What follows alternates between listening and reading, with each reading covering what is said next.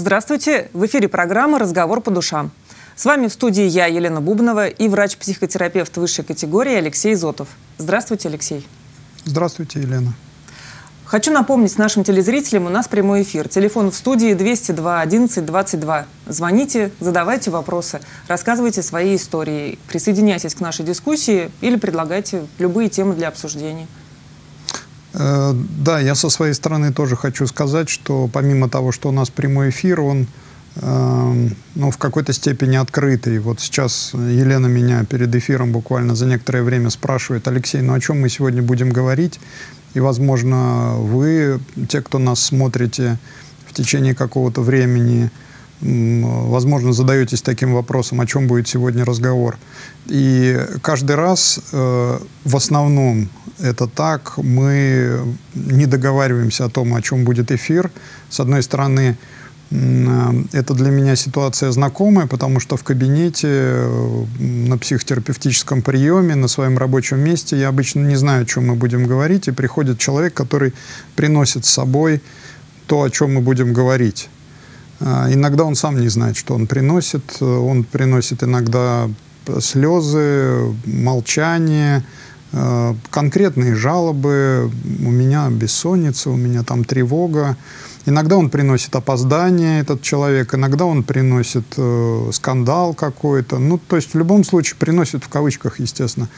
Иногда он э, приносит какую-то историю, и вот сидишь, слушаешь э, человека, и э, история о чем-то одном, а э, сидишь, слушаешь человека, слушаешь себя, и возникают какие-то переживания, какие-то ощущения, и думаешь, как связано. Ну, например, человек рассказывает о э, том, как он с друзьями отмечал что-то накануне, а я сижу и чувствую э, тоску, например, или мне хочется э, там разрыдаться, да.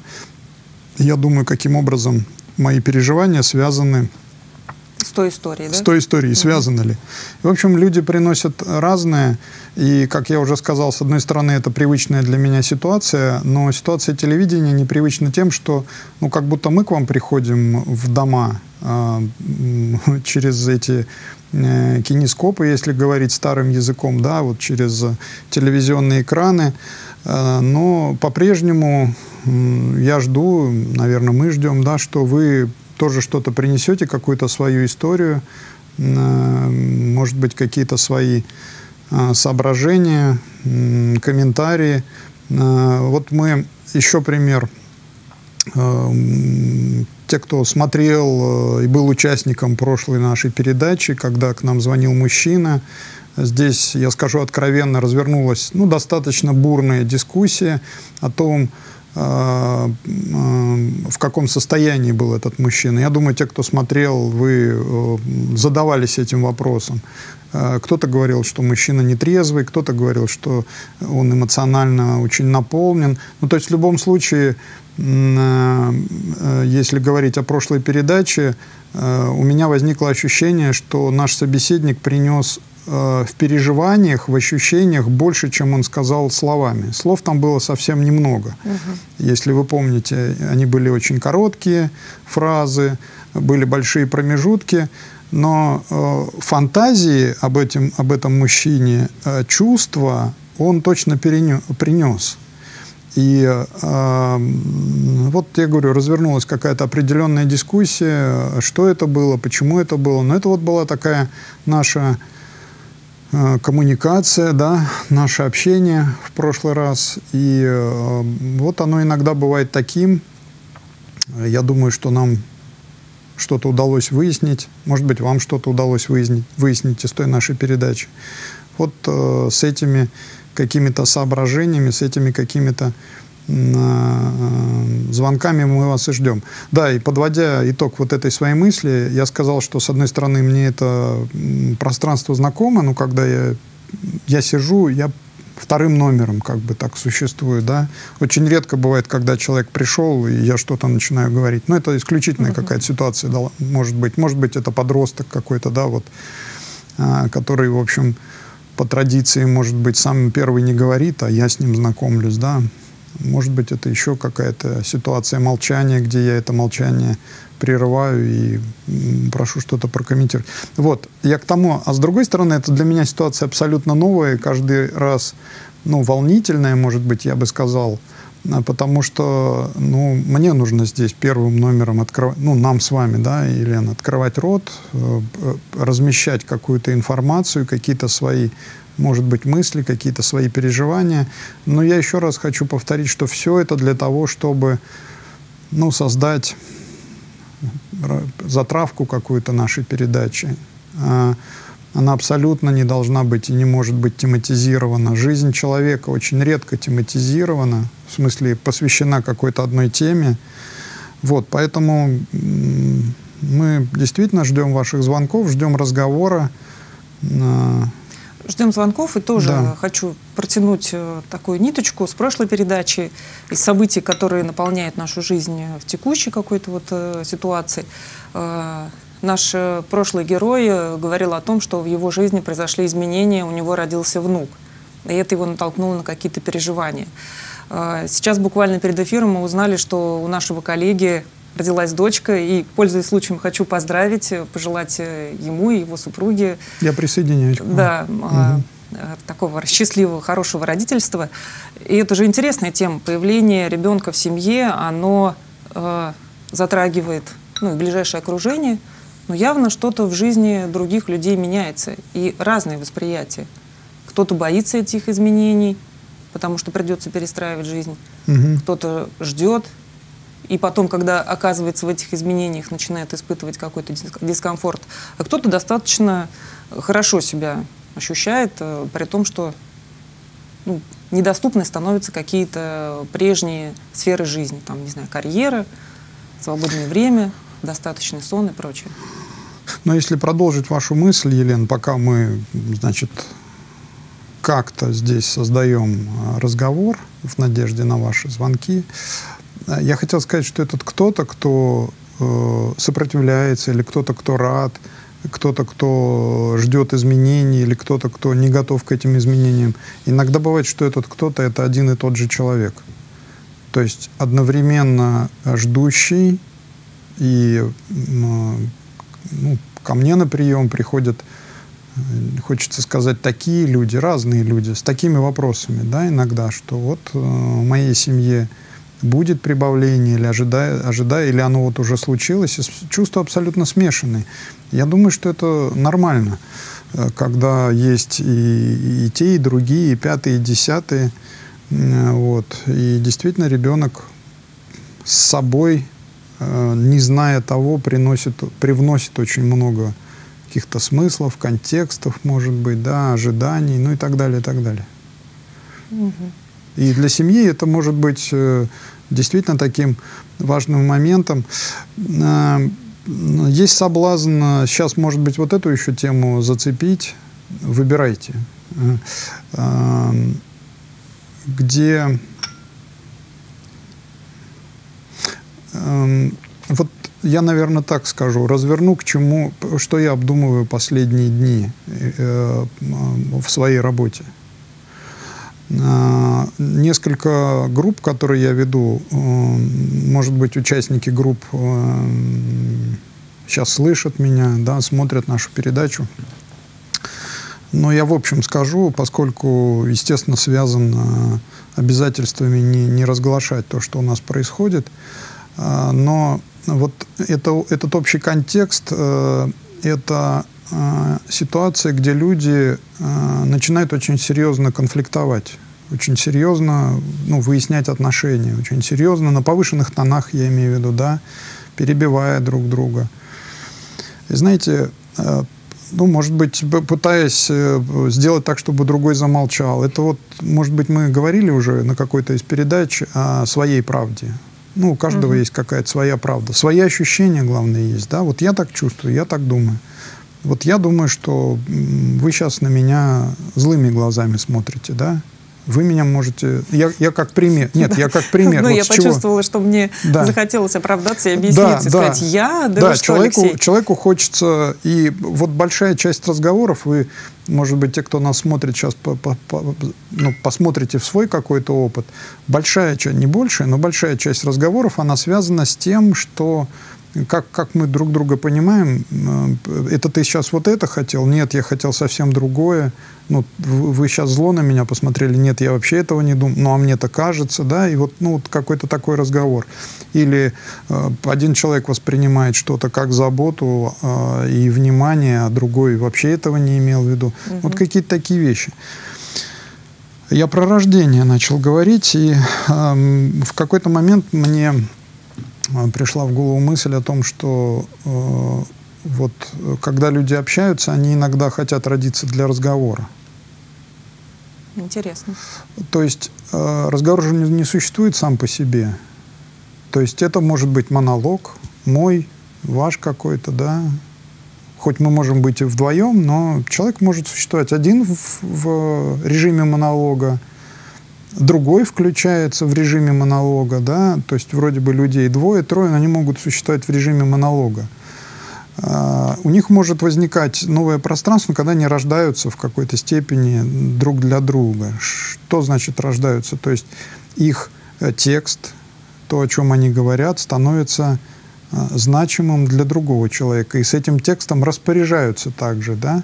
Не говорят, что ты неправильно думаешь, ты неправильно... Ну, то есть ну, говорить... Иногда говорят, и как раз вот э, корень конфликта в том, что когда угу. тебе говорят и навязывают э, ну, свою точку зрения, как будто бы другой человек о тебе знает э, лучше.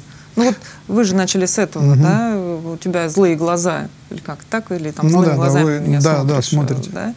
Э, что стоит за этой коммуникацией? Ну, я, я сейчас скорее вот не об этом, а о рождении в разговоре. Если я лучше вас знаю что-то о вас, то в какой-то степени э, вот, вот этот... В я, какой-то я степени я хочу, чтобы вы что-то лучше знали обо мне.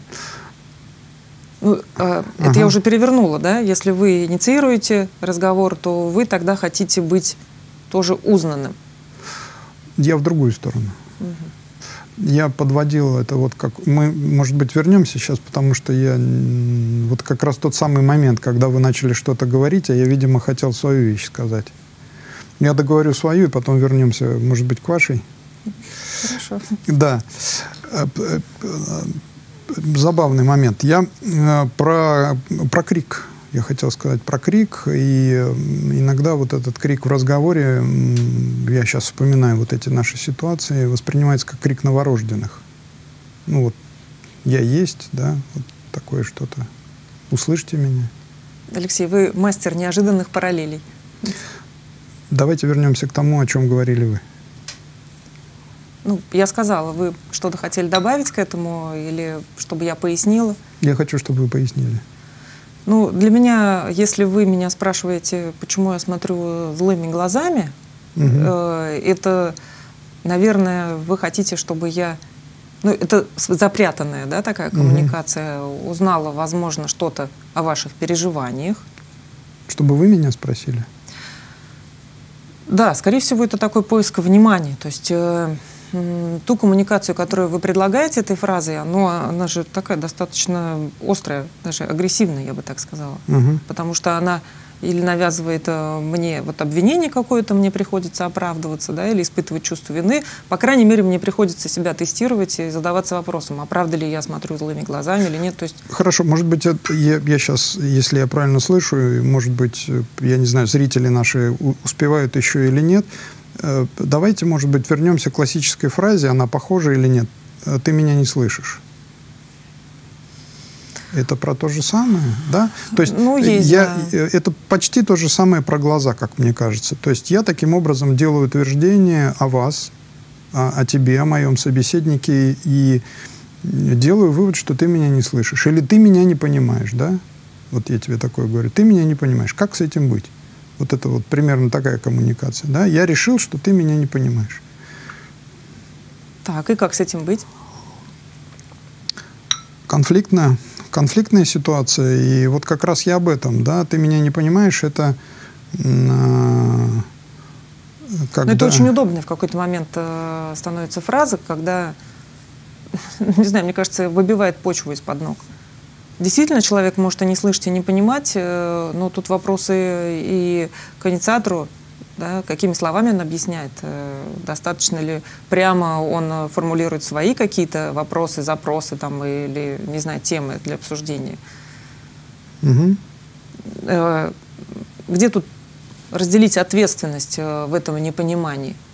Может быть, кто-то, кто нас сейчас смотрит, вклинится, войдет в этот разговор, что-то нам подскажет – Э, в этой путанице, которая возникла. Вот она периодически так и возникает. Ты меня не понимаешь, нет, это ты меня не понимаешь, да? Э, э, я согласен, что это звучит обвинительно, и что меня больше всего интересует в этой фразе, примерьте ее на себя. Ты меня не слышишь, да? Ты сказали? меня не слышишь, угу. да что в этой фразе э, я как будто о вашем опыте знаю больше, чем вы сама. То есть я способен э, ваш опыт понимая, понимание в данном случае оценить лучше, чем вы. Вы мне можете сказать, да нет, я вас слышу. Я скажу, да нет, ты меня не слышишь. Ну, разговор какой-то, да. Вот как это происходит, что это, что эта фраза значит э, для вас, уважаемые телезрители, как, как часто, может быть, или когда в последнем разговоре вы эту фразу э, использовали, да, что это было, может быть, у вас есть какие-то истории, поделитесь. Э, пока сейчас э, вклинюсь, угу. я немножко от вас, наверное, заразилась э, параллельными всякими процессами.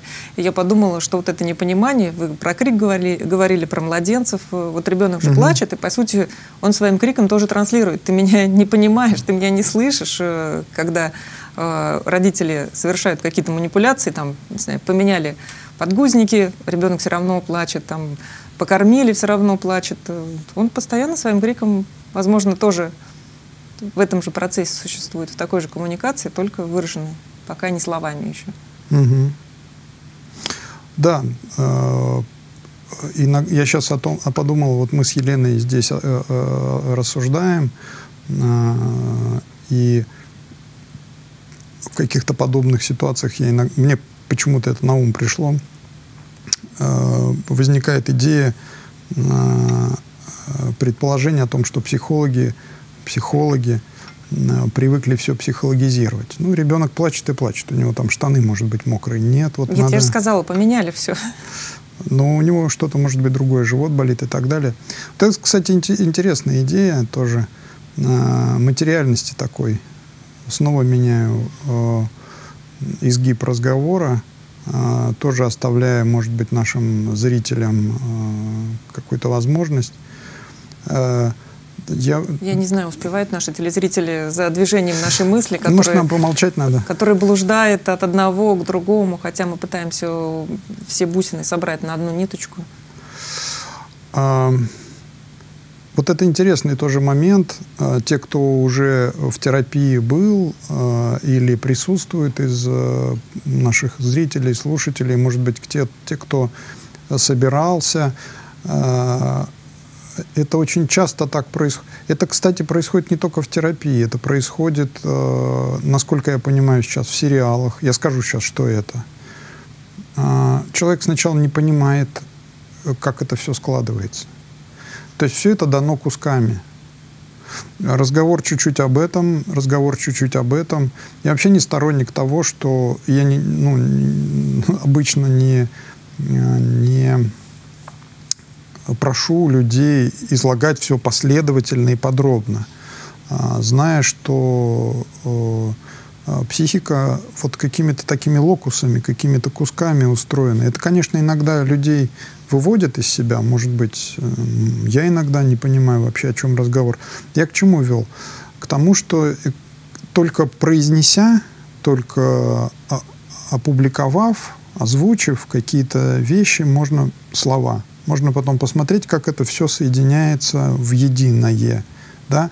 Каким образом герой, появившийся в самом начале и появившийся в конце, каким образом они связаны. Хотя это могут быть две разные истории.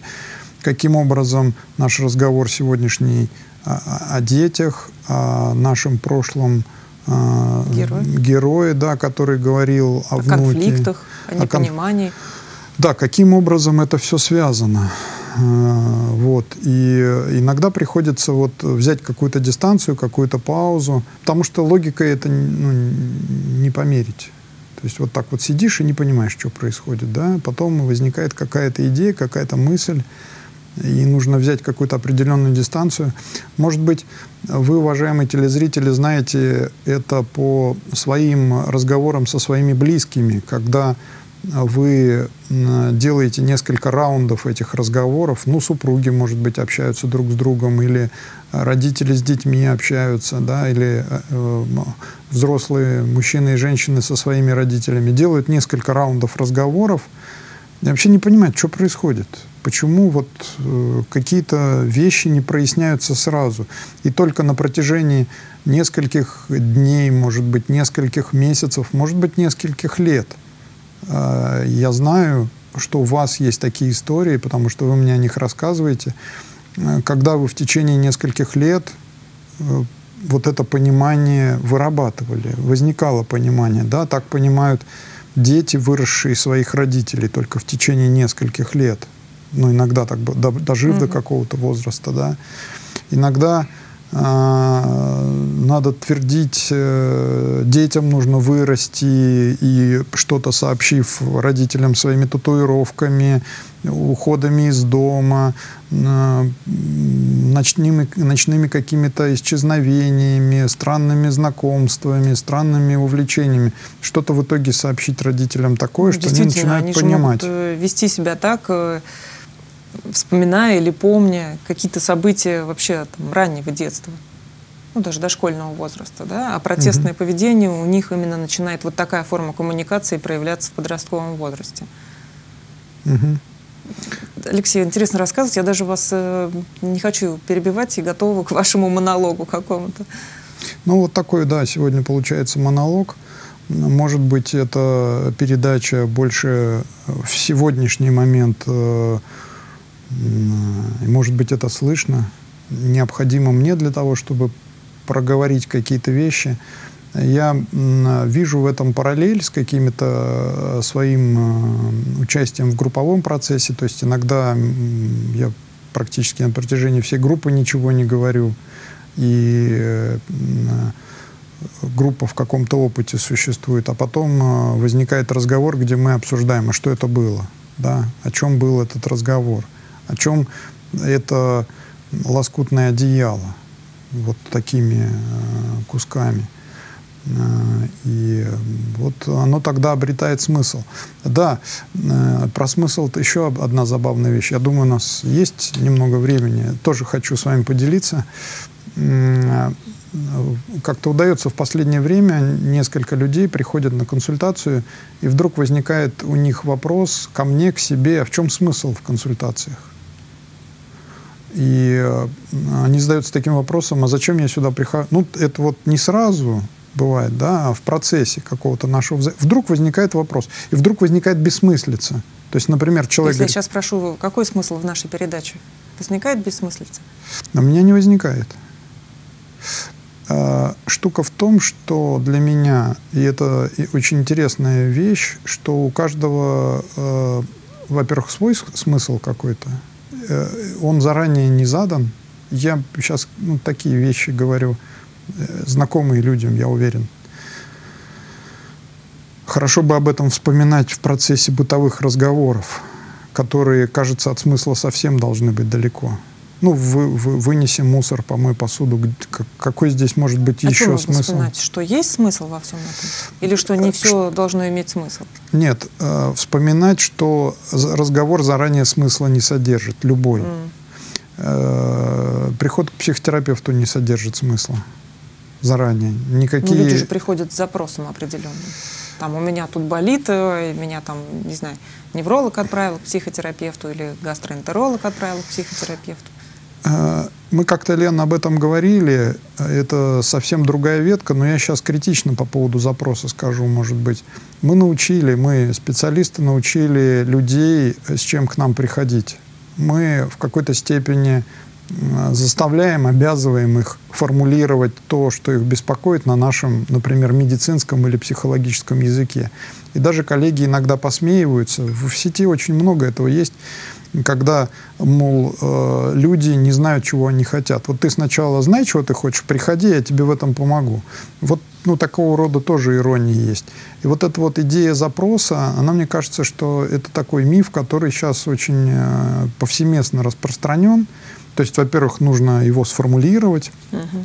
или он уже должен быть сформулирован на каком-то понятном для специалиста языке, причем для там, не знаю, гештальтерапевта на его языке, для психоаналитика на его языке, там, для еще какого-нибудь специалиста на его языке, да, то есть перевести в какой-то язык. И нашим пациентам иногда приходится вот, э, использовать, они очень быстро научаются. Вот приходят ко мне люди на первый прием, у меня паническая атака.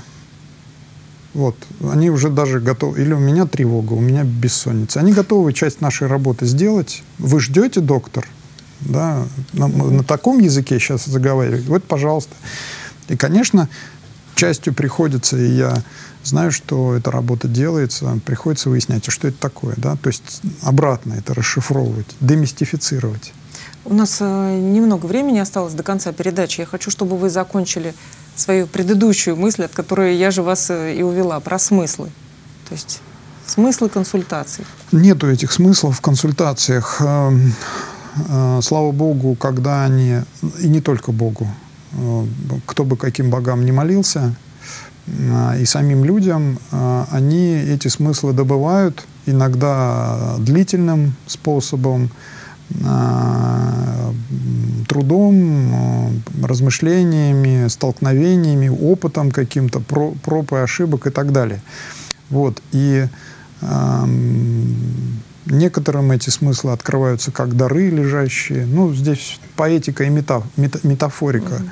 Вот. Но э, заранее э, во многом и в разговоре обычно нет смысла, если, ну, в смысле обычно его нету если только говорящие не начинают этот смысл языком добывать, как лопатой. Ну, такая маленькая собственная лопата, которой копаешь, копаешь, копаешь словесную руду, и чего-то на кончике языка вдруг возникает. Вот, да, какое-то понимание, которое вот как-то там...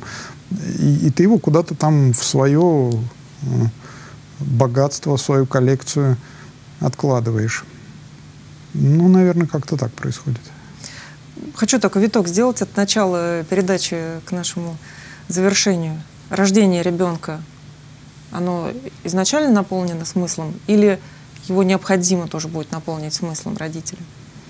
Я думаю, что безусловно, и ребенку приходится а, сначала осмысливаться своими родителями. А ведь иногда бывает очень редко, но мы знаем такие ситуации, когда со смыслами в семье туго и родителей не хватает, например, да, и, может быть, двоих родителей нет. И осмыслять этому ребенку в нашей большой группе, в коллективе, на уровне, не знаю, там, нации, роддома приходится вот чужим людям, да.